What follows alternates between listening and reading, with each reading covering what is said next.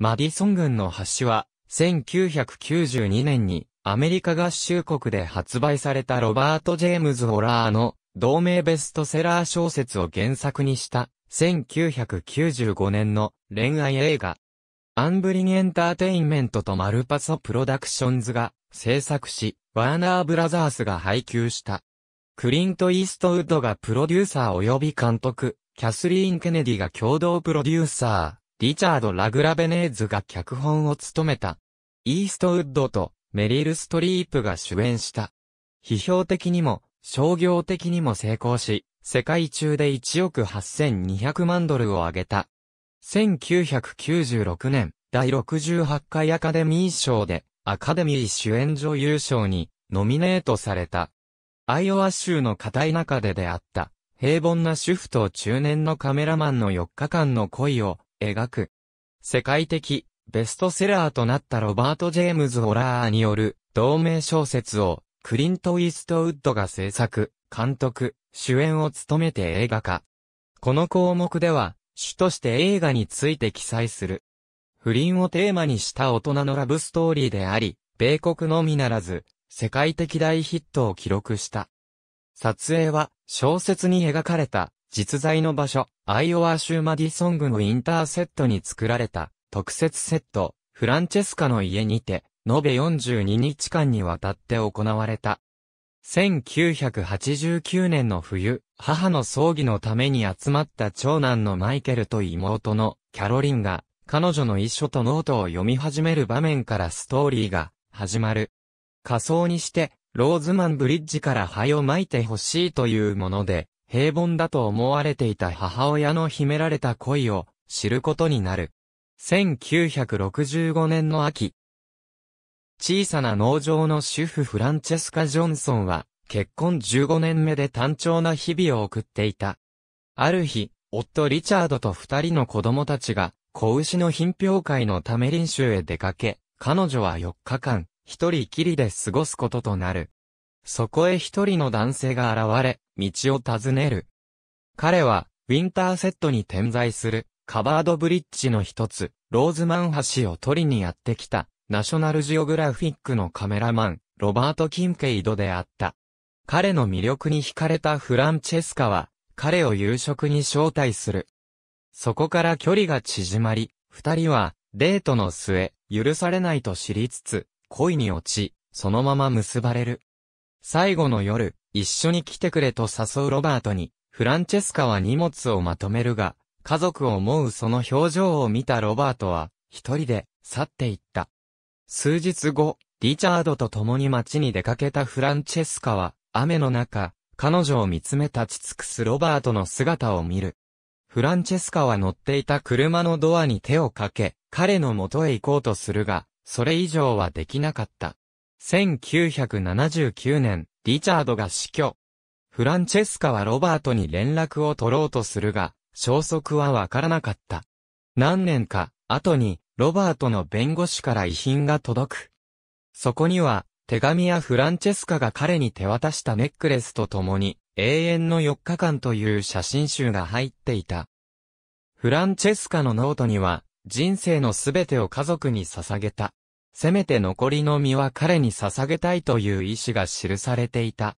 兄弟はようやくその意志を理解する。後日、二人の手によって、彼女の遺灰は、ロバートの遺灰と、同様、ローズマン橋の上から撒かれた。数年前、荒野のストレンジャーのロケ地を探して、ピックアップトラックで、ネバダ州に行ったことがある。しかし人妻との運命的な出会いは、全くなかった。ロバート・キンケード役のクリント・イーストウッド1991年終盤、スティーブン・スピルバーグが創立した制作会社アンブリン、エンターテインメントは、ロバート・ジェームズ・ウォラーの発売前の小説、マディソン郡の橋の映画化権を2万5千ドルで購入した。映画公開前までにこの小説は世界中で950万部が売れた。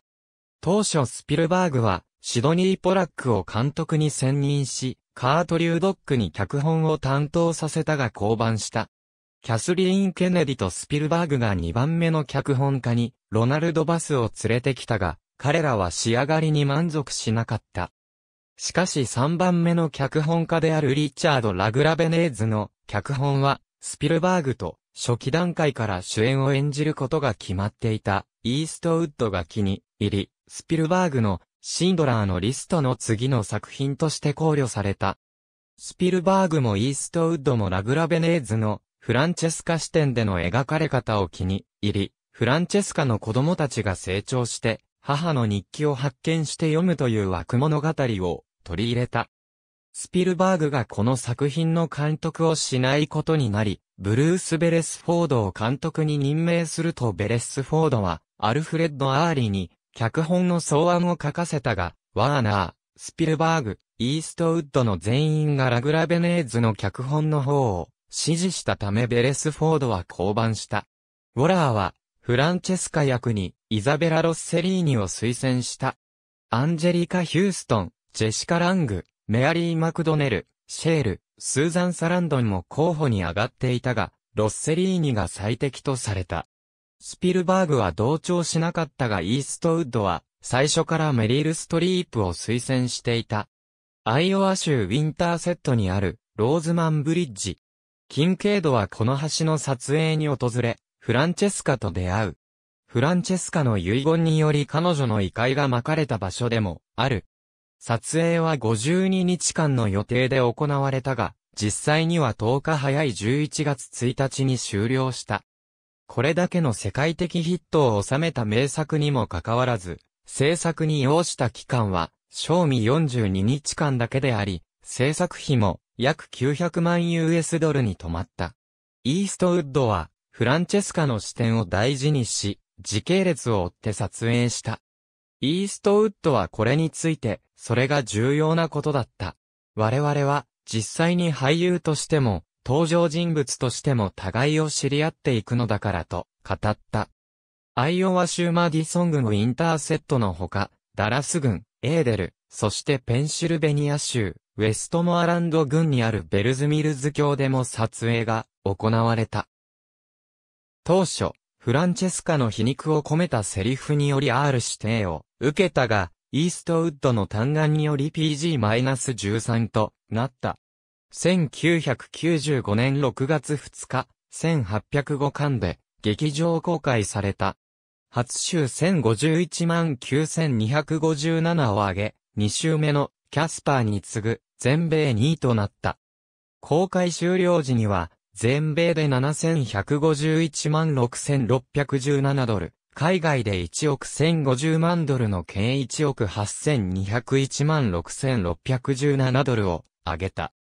他撮影の特設セットであるフランチェスカの家は、撮影終了後も保存、一般公開されていたが、2003年の放火で被害を受け、現在は一般公開されていない。マディソン郡の橋は、ジェイソン・ロバート・ブラウン作詞作曲、マーシャ・ノーマン脚本によりミュージカル化された。2013年8月1日、マサチューセッツ州、ウィリアムズタウンのウィリアムズタウンシアターフェスティバルにて、初演された。バートレットシアが演出を担当し、エレナ・シャドウが、フランチェスカ役、スティーブン・パスケールが、ロバート役に配役された。